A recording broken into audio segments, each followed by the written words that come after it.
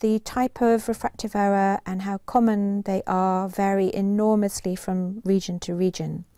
The region with the lowest um, proportion of children at school with uncorrected refractive error is in Africa, where it's probably less than 2% of children have um, a refractive error. This is very different to Asia.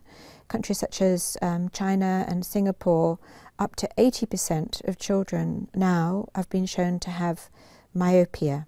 So there's a big variation in the proportion of children who have uncorrected refractive error and have therefore need services.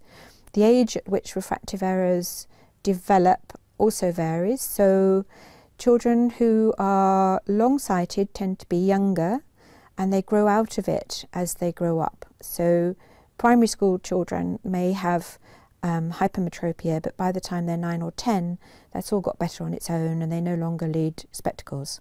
On the other hand, uh, short-sightedness, myopia, is very uncommon, except in China, and it tends to develop around the age of 9 or 10.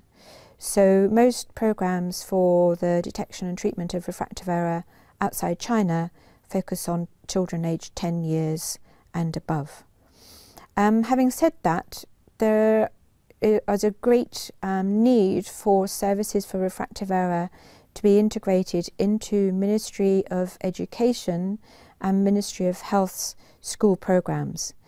These are now expanding considerably and are re receiving much more support because it's been realised that children who are not healthy or who are hungry or who are deficient in, in vitamins or who've got worms don't learn well. So there's a big initiative to try and cover many different conditions in school aged children and refractive errors can be seen as being part of that service. And this means working with ministries of education as well as ministries of health. Again, if a, um, a team is going into a school to deal with refractive errors, then there are all sorts of other things they can and probably should be doing. The teachers are likely to have um, presbyopia, which will make their job difficult in marking homework in a, in a poorly lit home environment is going to make that task very difficult. They may have glaucoma, they may be diabetic and have diabetic retinopathy. So addressing the health needs of teachers is not only good to improve their ability to be able to do their job, but it'll also raise their awareness of eye health needs generally.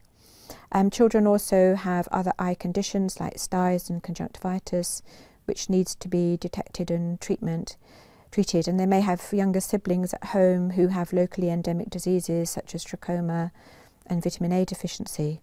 And children can be used as agents of change to take health messages home so that their younger siblings can also receive some benefit from the, the programme. So I think it's important to think more broadly um, than just narrowly focusing on refractive errors. And this can be an, an entry point into schools and into ministries of education to highlight the needs for the eye health needs of children generally.